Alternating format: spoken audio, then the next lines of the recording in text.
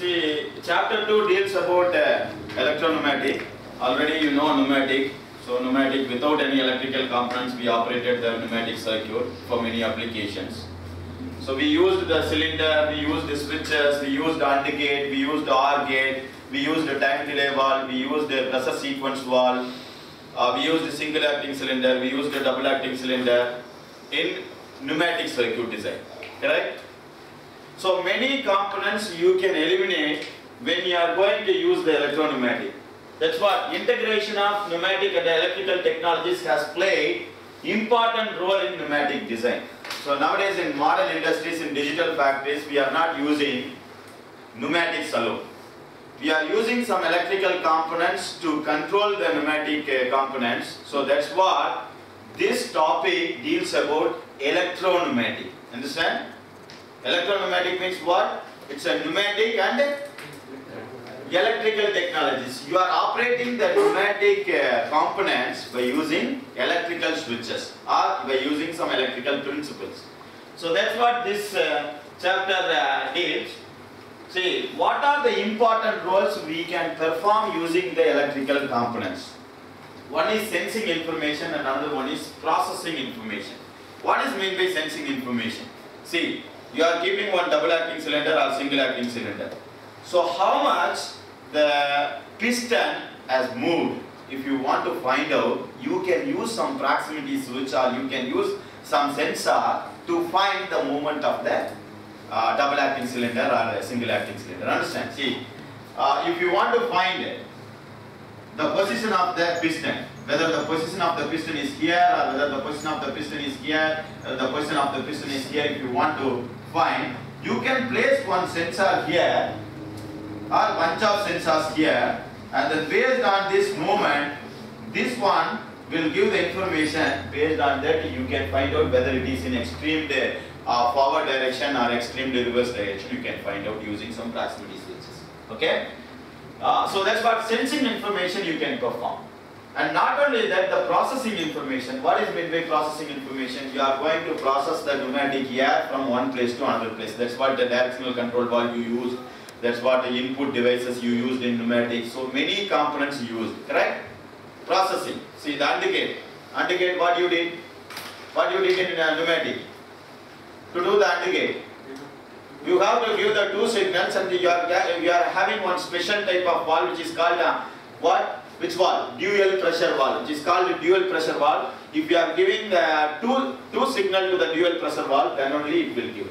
So you need not to have this type of AND, AND gate processing in electropneumatic. What you will do?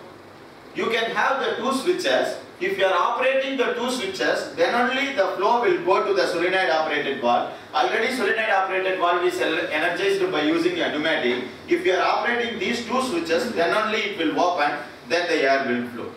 You need not to have any mechanical type of uh, valve like dual pressure valve, shuttle valve, check valve, you need not to have. Instead of that, you are keeping some electrical buttons, electrical signals. Electrical button if you are operating, two buttons will be there. If you are operating both the buttons, then only the signal will go to the solenoid operated valve and then after that the directional control valve. Solenoid operated directional control valve will allow the air to flow to the uh, cylinder. So if you are doing like that, then AND gate logic will be satisfied. So same way you can do the OR gate logic. If you are pressing any one of the switches, then the electrical signal will go to the solenoid operated directional control valve. Then solenoid operated directional control valve will open, then air will flow. If you are operating like that, then OR, OR gate logic will be satisfied. That means shuttle valve uh, logic will be satisfied. That's what you can do the processing information by using the electrical signals. Okay. So sensing information you can perform, processing information you can perform. So these are all the important role by electrical components. See, what are the main components in electropneumatic circuit? There is a switch. The switch means electrical switch. So you can give input uh, to the circuit by using switches. And there will be relay. So the relay means you know Yes. If you want to cut or if you want to open, so you can use the relay. Okay, so relay is also one of the safety, safety device. So if you are going to press one switch, it will go to the relay, then relay will be closed. If you are closing the relay, then only the the signal will go to the solenoid operated part. Okay. So this uh, relay uh, which is very useful in electro-pneumatic circuit. So the relay is one of the important components in electro-pneumatic circuit. See the solenoid operated valve, you know solenoid principle. So there will be a plunger. If you are going to give some volt, 24 volt, assume 24 volt you are giving. The plunger is the spring loaded. Already we discussed in the chapter 3. Correct? So this is a spring loaded and then if you are uh, giving 24 volt, the spring loaded plunger will have the movement. The spool is attached in the electro-pneumatic uh, what, uh, solenoid operated valves. The spool will get the moment if you are energizing the plunger. Okay. So that's what solenoid operated valve. The proximity uh, switches it is used to find where the position of the piston. Then indicator and distributor plate. So this one, if uh, electrical signal is going, there will be some LED. The LED will glow. Then you can identify the, the signal is uh, passing from one place to another place. And also something distributor. So in between that if you want to find out, so you can, you are keeping some uh, uh, indicator devices so you can find out whether the uh, signal is distributing to all the circuits or not that you can find out. Okay, so these are all electrical indicators. And then cylinder, so what we used in the pneumatic, the same cylinders we are using double acting cylinder and single acting cylinder. The service unit with on-off valve, see that, this is called service unit. Service unit with on-off valve. This is on-off valve, this is service unit. So what are the service units? Filter, regulator, lubricators are the service units. Filter means if you want to remove the unwanted particles from the air, you are using a filter. The filter will remove the dust particles or unwanted particles uh, uh, which is coming with the air. Okay, we need pure air. So that's why we are removing all unwanted particles using this uh, filter. The regulator means you are regulating the pressure. So the pressure which is coming from the cylinder will be enormous. If you want to reduce the pressure or if you want to use only 6 bar, if you want to use only 8 bar, then you can use the regulator. So you are regulating the pressure here. Then lubricator unit. Lubricator unit means what? See the due to friction, due to friction, wear and tear will happen in the cylinders, in the valves. If you want to avoid, then lubricator, so atomized lubrication. Okay, so you are including in the uh, pneumatic. If you are using the lubricator, then you will get the smooth movement of the components, smooth movement of the component part. Okay, so then we can avoid the uh, friction, we can avoid the wear and tear. So the life will be improved and also you will get the smooth run of uh, uh, pneumatic components. That's what we are using the lubricator. So this is the whole unit. Okay, so this unit is required uh, after your compressor. So the compressor is there and then after that you have to do the filter lubricator, uh, filter regulator lubricator unit. This is uh, generally called as FRL unit. Okay, which is called as FRL. F means filter, R means regulator, L means lubricator. FRL unit. The FRL unit symbol is this, and then after that you are having one 3 by 2 valve which is used as a switch. The whole unit you can say service unit with on-off valve. This is required in all electro-pneumatic circuit. When you are going to draw the electro-pneumatic circuit, first you have to use this. Okay, you have to use this means this is called FRL unit. This service unit is required for all the circuits, and also you need 3 by 2 switch. So this is the common unit for all electro-pneumatic circuits. So you have so this output it is going to the uh, directional control valve. That directional control valve, all logic you are using uh, in the electrical uh, board and then after that you are going to give to the solenoid operated directional control valve. So all the logic and then after that solenoid operated directional control valve will open. This air will go through the directional control valve to the cylinder. So this service unit is the common uh, component for all uh, electro-pneumatic circuits. Okay, and another one is solenoid operated 3 by 2 and 5 by 2. So this is very very important for all the circuit. Directional control valve is required based on the cylinder. If you are using single acting cylinder, what type of directional control valve is required? If you are using, using single acting cylinder, single acting cylinder, which valve is required? 3 by 2 is enough. 3 by 2 is enough because you are not uh, giving any signal for the return stroke. Automatically it will return. When you are going to push the piston, it will get forward direction. If you cut the signal, automatically it will return. When you are using the single acting cylinder, you are using the 3 by 2 solenoid operated valve. If you are using the double acting cylinder, which one is required?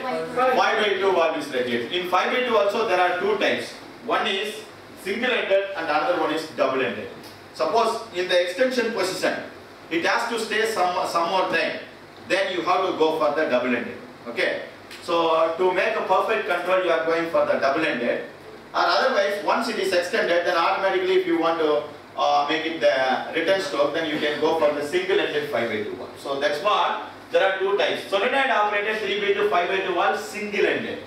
Then solenoid operated uh, uh, 3 by 2 and 5 by 2, double-ended.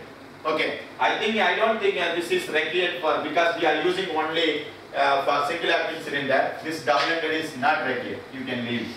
So only you use this uh, double-ended uh, uh, 5 by 2 valve. See, double-ended 5 by 2 valve means once it is extended, then for the return stroke. If you are energizing this solenoid, it will go for the forward direction. If you energize this solenoid, it will come for the reverse stroke. Okay, this is like a pilot operated what you did in the pneumatic. What pilot operated, if you are giving the air this direction, what will happen? It will get the forward direction. If you are giving this direction, it will get the reverse direction. Instead of giving a air, that pilot operated means you are giving, you are operating by using the pneumatic air, which may be processed maybe through AND gate or OR gate, through some switches, it is processed and then after that you are giving to the 5 by 2 one. But here, you are not giving through pilot operated, you are giving through the solenoid. That means you are giving the electrical signal to the solenoid this end. If you are giving this end, it will get the forward stroke. If you are giving this end, it will get the reverse stroke. That's what double-ended solenoid operated 5 by 2 one. Solenoid operated, solenoid operated 5 by 2 valve, double-ended. So this one is solenoid operated, single-ended 3 by 2 and 5 by 2 valve, spring return. This is spring return. The, the meaning of this is spring return we are giving the signal for only forward stroke, the return stroke will happen automatically because of spring return. Okay. So these are all the symbols. Service symbol, uh, are you able to understand? Service symbol, service unit. Service unit means it contains FRL unit and one switch. So this is the common symbol for all the electropneumatic circuits. Okay. And then after that, after this, it will go to the 5 by 2 operated or 3 by 2 operated valve based on the uh, pneumatic cylinder. So pneumatic cylinder you are giving and then you are, give, uh, you are giving to the uh, solenoid operated valve. So that's all in the electropneumatic circuit. So when you are going to do the electrical circuit, see there are two circuits in the electropneumatic. You have to draw. If this type of person is coming in your examination, you have to draw the two circuits. One is electropneumatic circuit and another one is electrical connection circuit. That is called, commonly called as electrical circuit. Okay, you have to draw the electropneumatic circuit initially. For electropneumatic circuit, these are all the symbols main, main important symbols. Okay. For electrical circuit, the connection circuit, so I am going to give some of the symbols for the electrical circuit. So you are going to use the electrical circuit to complete the uh, circuit design, or for complete uh, circuit design for one application. See, this is important. Once again, I am summarizing. Uh, pneumatic and electrical components are playing a vital role in uh, many of the electropneumatic circuits. Why we are going for the electropneumatic? To do the sensing information and to do the processing. And there are the main components in electropneumatic. You see there that there is a switch. Switch means it is electrical switch. Then relay, solenoid operated valve, proximity switches, indicators, cylinder, service unit and manifold. So these are all main components involved in electropneumatic circuit. And there are two circuits you have to draw. If there is a question in examination, you have to draw the two circuit. One is electropneumatic circuit which is not having any electrical connection. Okay, so electrical connection you have to show the uh, different circuit. You have to show in a different circuit which is called as electrical circuit. That is connection circuit. So you have to draw one electropneumatic circuit and one electrical connection circuit. To do the electropneumatic circuit, these symbols are very important. I think you know the uh, single acting and double acting cylinder symbols because we did a lot of things in uh, uh, pneumatic chapter 1. Okay. So your double acting cylinder, you know the symbol, single acting cylinder, you know the symbol. So these symbols are important to complete one electropneumatic circuit. So we will see one uh, example. Okay. Now I am going to discuss about the electrical circuit symbols. Electrical circuit symbol means what is the symbol for switch, what's the symbol for relay, what's the symbol for solenoid, how to do that uh, uh, solenoid operated valve by using one relay. So all those things we will see in the electrical symbols. Okay. Finish. So we will see the electrical symbol. Okay.